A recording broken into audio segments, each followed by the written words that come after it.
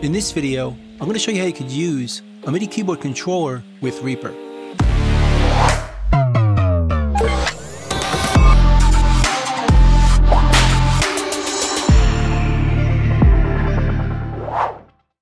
Now the purpose of using a MIDI keyboard controller is so we can record or trigger MIDI sounds in our computer, whether it be a piano or a synth or a drum machine, or even just to control any parameter available inside Reaper. Now there's most likely going to be two different options to choose from. Either a USB keyboard that plugs directly into your computer using a USB port, or an older keyboard that only has MIDI inputs or outputs available. In which case, you'll need either a computer audio interface that has MIDI connections or a dedicated MIDI device. But once it's set up, it should behave or work the same. Some MIDI keyboards can be pretty small, with unweighted keys, while others can have as many as 88 weighted keys with piano like feel or action. But once again, once we set this up, they should behave in a similar way. You'll start by reading the instructions that come with your unit or device. Some require drivers or installers to get them working, while others are simply plug and play USB devices. But definitely check out the manuals that come with your unit and follow them, and install anything necessary. And once everything is installed and plugged in, we can open Reaper and go to our preferences. Up here, in the Options menu and go down and choose Preferences. Then we'll go over here under MIDI Devices, and we should see our devices show up. The inputs up here and the outputs down here. As we can see, mine aren't showing up because I have them unplugged. So let's plug them in and let's choose Reset All MIDI Devices. And now they show up. The first one is an 88 key MIDI controller, and the second one is an audio device with MIDI inputs that I'm going to use for a vintage keyboard with only MIDI output and no USB. Now to set these up, we can either right click and choose our options over here, or we can just double click them. We can change the device name or create an alias. I would recommend that if you want to change the name, just change it over here. I'm going to call this MIDI keyboard 88 keys. And it will show up in Reaper that way. Then I'm going to enable the input from this device. We could also enable the input for control messages, but I'm not going to do that just now. We'll go over that later. Then I'll do the same thing for this device. Enable it and rename it Vintage Keyboard. Now both inputs should show up in Reaper. We can do the same thing for our outputs. Down here, we could enable them. We could send clock to that device, which makes more sense if we're dealing with a sequencer or a drum machine. Right now, we don't need it. And we'll set it up for both of them.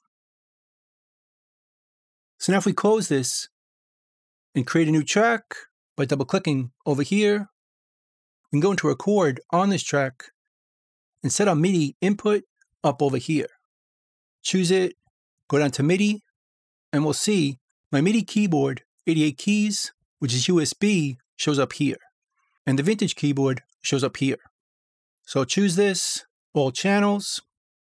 Now we can look over here if I play my keyboard, and we'll see input show up on the meter. To see this better, let's go up here to the View menu and choose the virtual keyboard. So we get a keyboard down here where we can see the input from a MIDI. And again, if I play my USB MIDI keyboard, we see input on the meter, so we know it works. Or we could switch it to my vintage keyboard, which is plugged into my audio interface on the MIDI ins. And if we play that, we see input there as well. Or we could choose both at the same time we can go here and choose all MIDI inputs, all channels. And if I play either my USB MIDI keyboard or my vintage keyboard, we see input going in. But we're not hearing anything yet. We need to create a sound source or use a plugin to get some sound.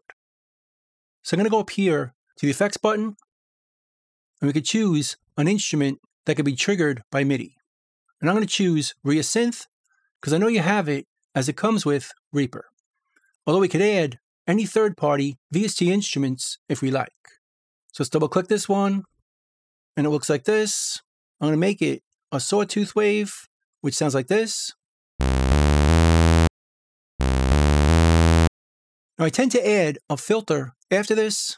So I'm going to double click over here, type in filter, and I'm going to choose the Moog four pole filter. And we put it right after the synth. Now we could adjust our cutoff and our resonance to make it sound more spitty.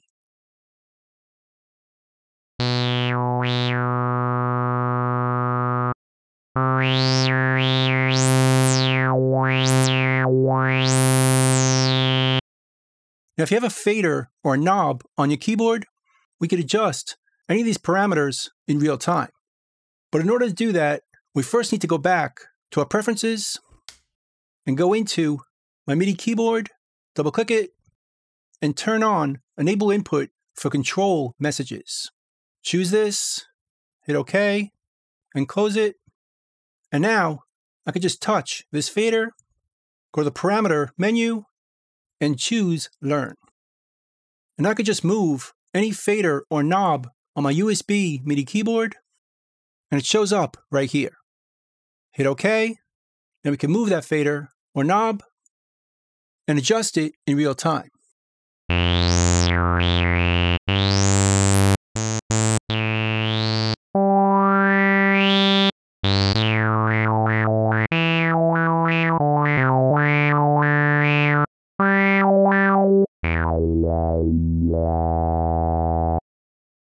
So it gives us real-time control of any parameter we choose.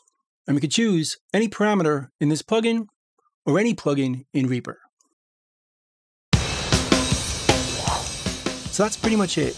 That's using a MIDI keyboard controller in Reaper. I hope you learned something, hope you could use it, and I'll see you next time. Thanks.